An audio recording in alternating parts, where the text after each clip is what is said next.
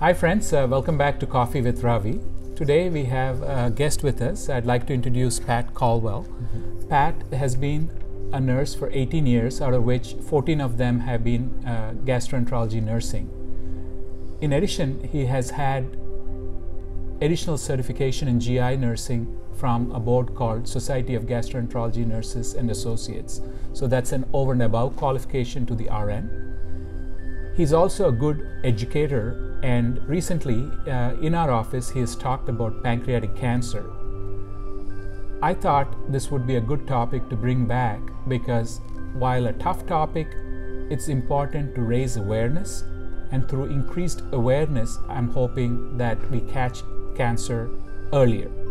So, Pat, uh, welcome. And Thank you very uh, much. Uh, if you uh, want to tell uh, our patients mm-hmm. what you had shared with for the staff sure. i think about pancreatic cancer how it presents what do, should they look for what are the treatments mm-hmm. and while a tough topic uh, uh, i thought you had done a very good job uh, uh bringing the awareness uh, to our staff so okay um, we'll talk to our patients about this today all right thanks for the chance to, to talk here um, I wanted to talk about the pancreatic cancer. When we set it as a goal of the Digestive Health Center to raise awareness, I realized I didn't really know a lot about the disease. And we all know it's a serious diagnosis, but it occurred to me uh, that if we answer a series of questions, this is going to help us raise awareness. So some of those questions that I wanted to answer in my presentation were what, well, first off, what is a pancreas? What does it do? Where is it? What are the risk factors for pancreatic cancer? And can pancreatic cancer be prevented? How do we detect it? And how do we diagnose it? And then what are some of the things on the horizon for treating pancreatic cancer? And in all of this, what we want to do is what's the best thing for our patients. Yeah. And, and hopefully they can use this information to kind of be on a, be, be on the uh, uh, uh, be aware, uh, more aware, more aware, more aware yeah. of what's going on. Yeah. So if you're looking at the screen, you should see two um, illustrations of a human being that's kind of transparent. So what and where is the pancreas? If you look at these two uh, figures, you'll see the pancreas is sort of an orange yellow colored organ. To me, it looks like a fish making a left turn, and it is located right behind your stomach and in front of your spinal column. Now, if you try, you can't feel it with your fingers. It's too far inside. And if the pancreas is hurting you, you really can't tell that it's your pancreas because it'll feel just like a stomach ache. Yeah, now, like, just like many other GI conditions, everything. Exactly, exactly. It's a stomach ache. yeah, know? exactly. It's a general something's wrong, but you don't know what. Now, as far as what the pancreas does, it's got a couple of main functions. It manufactures digestive uh, enzymes that help us to chemically break down the fat, the carbohydrate, and the protein in our diet. And along with that, it manufactures insulin and glucagon, which help regulate the blood sugar in our bloodstream. So it's got twofold function, right. both digestion and also blood. It's a hormonal function. It's, it. it is. It's a it's an endocrine and an exocrine gland yeah. in, in medical terms. So what are the risk factors for pancreatic cancer? Well, they fall into two categories. On the left side of the screen, you'll see the genetic risk factors for pancreatic cancers and then the non genetic risk factors.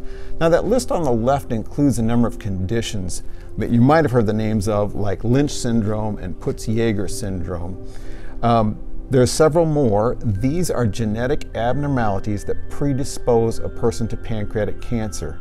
And if you have one of these, you know you have one of these, I think the best thing that you can do is stay in touch with your provider because there might be a point at which they want to do some further studies to track whether you're developing pancreatic cancer. And on these genetic condition, folks, the main thing is that there are other sets of conditions associated with it. So this is not something that is silent, but there are other groups of cancers, and most times they would have already been picked up. So don't think too much, but if there's a group of cancer clustering in the family, bring it to the attention of your provider. Yes, exactly. Now, on the non genetic factor side, there are things you might expect, and there are some things that are more or less under our control, like smoking or diabetes, chronic pancreatitis, obesity, age over 65, alcohol abuse, and infection with a bacteria called Helicobacter pylori, which is also associated with gastric ulcers. But the number one risk factor that's non genetic is a combination of smoking, long term diabetes, and poor diet. So the next question is Can pancreatic cancer be prevented? Well, according to Mayo and the National Institutes of Health, where I'm getting most of my information, you, there is no real silver bullet to make sure you won't get pancreatic cancer, but you can improve your odds. And again, these are kind of common sense things. Don't smoke, uh, maintain a healthy weight.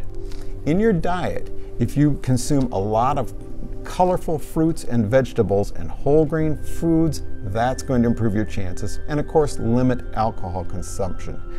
Now, this is not a, a question of being perfect, because none of us is perfect. If you have issues in these areas, it's really just taking care of yourself. We just take care of ourselves.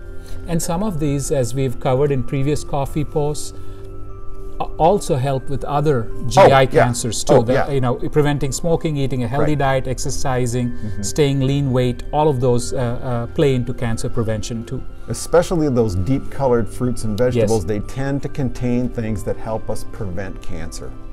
So they're they're good for other reasons too. Now, how is it detected and how is it diagnosed? I got a list of symptoms from the Mayo Foundation, and I'm going to go through them the thing to remember about these is these are general symptoms. If you have one of these, it does not mean you have pancreatic cancer, but these are some of the symptoms.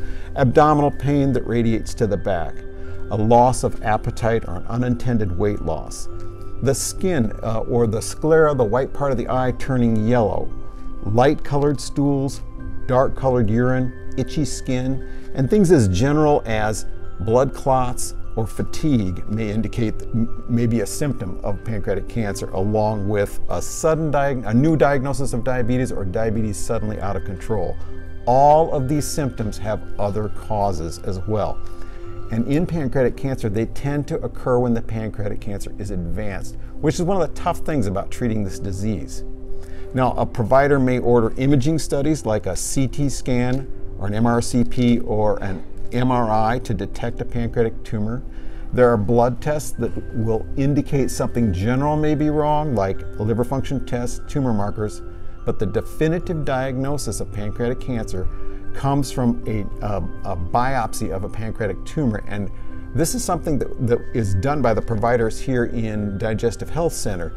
Uh, EUS means an endoscopic ultrasound, and with an endoscopic ultrasound, they can put a scope into your stomach against the back wall and use an, an, uh, an, ultrasound emitter that gives a really good picture of the pancreas and they can even take a biopsy of it. That's something we do here. Now, genetic testing might be ordered by, at some point by a provider.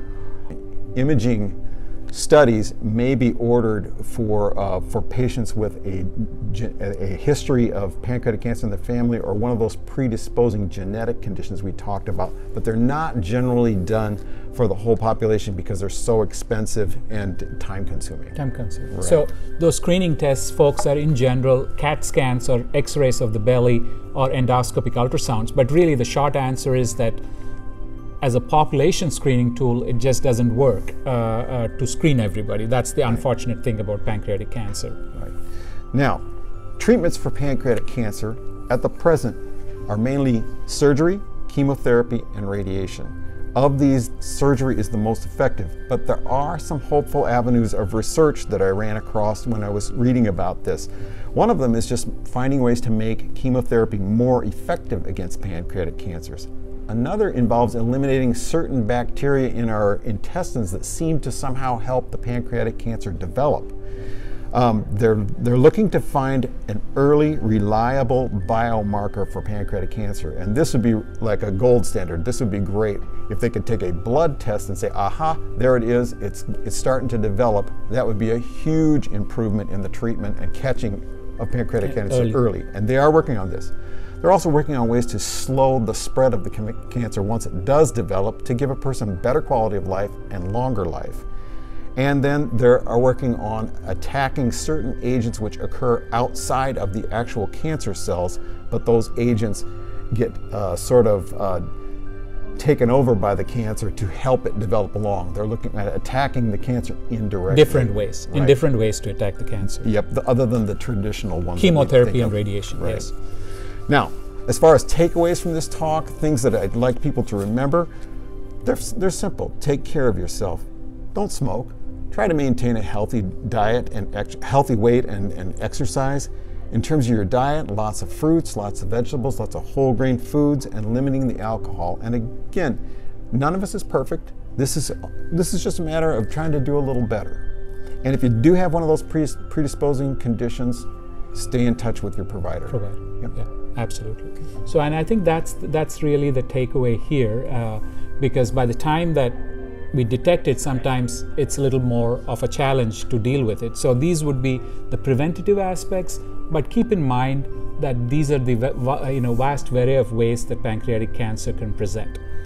So thank you, uh, and thank you, Pat, uh, for doing this. Uh, we'll continue to take questions from you.